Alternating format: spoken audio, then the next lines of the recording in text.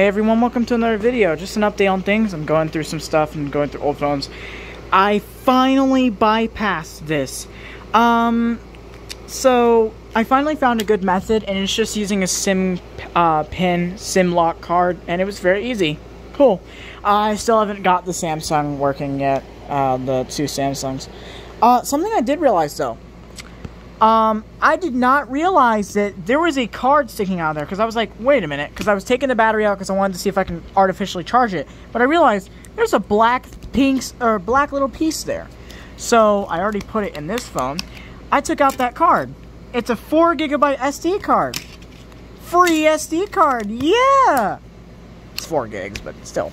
Um, but yeah, this is one of the two phones my aunt Toys Ann gave to me because she cleaned out an old house um, and gave me a total of like three phones a Samsung Galaxy S1 Mini, uh, some old, like I think the first LG, but I broke it, um, and this, which is a Windows phone. It didn't used to be shattered, but I dropped it on the back from like four feet and it broke.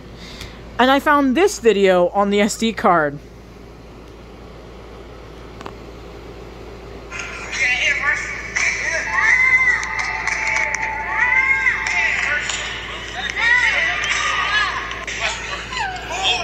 Kind of hilarious.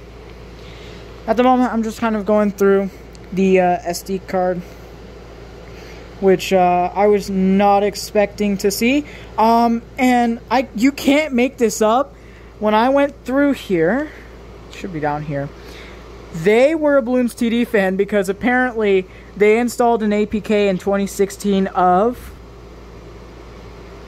Bloons TD5. Wow. That's insane. So, uh, yeah. Just a quick update on things. That's really cool. I got a free SD card and some entertainment.